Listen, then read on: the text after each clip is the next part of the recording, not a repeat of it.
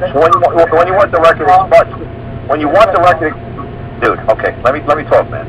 When you want the record, you, you gotta go before the original judge, okay? Because he's the one who passed sentence on you, okay? And then he gets to determine whether or not you comply with all the, uh, the states or county statutes or federal statutes, whether or not your record should be expunged. And he's gonna deny you. He's gonna say, no, I don't believe that you, uh, put your time in. I don't think you put an honest effort in. I don't think that the record should be expunged. I think this should be lashed around your neck for the rest of your life. So you say to him, this is before, this is why you don't bother wasting your time getting the record expunged, because it's never going to happen. The judges, once they get it on your record, they're going to keep it on forever. Because the next time you get in trouble, instead of a $100 fine for the first offense, it's going to be a $1,000 fine for the second offense. So obviously they're not going to let you go back to the beginning. Obviously it's a money-making thing, so obviously they're not going to let you out of the first conviction. They're not going to do it. Because a conviction means that you confessed. It's all on you. You're the one who admitted it. Oh, now you're coming back and saying, well, gee, I got to change your heart. I, I don't want to confess to uh, uh, doing that wrong. I want to say, holy crap, you know what? I didn't, I didn't do wrong to anybody. That's basically what you're doing.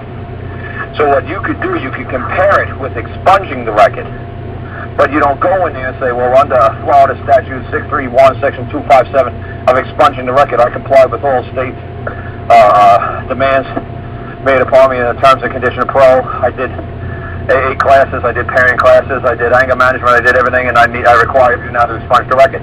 They're not going to do it. Even though that you comply with every single aspect of the terms and conditions of the parole, they're not going to let you loose. They're not going to do it. Because it's a money-making thing. So what you got to do is you got to come at it from a, from the common law point of view. You got to say, who's the man or woman who made the claim against me all those years ago?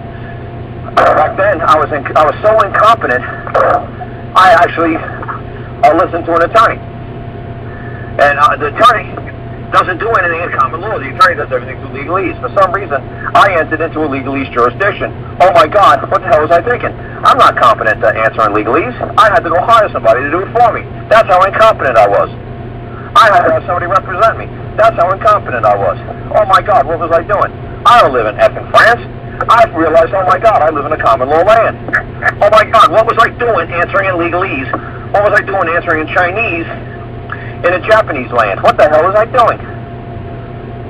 That's what you got to go back and explain to them that you were so freaking incompetent. Look, I had an attorney. I was so fucking stupid. I actually thought I lived in a legalese land. Oh my God, what the hell was I thinking of? There you go. That's the kind of way the letter's got to go. And if you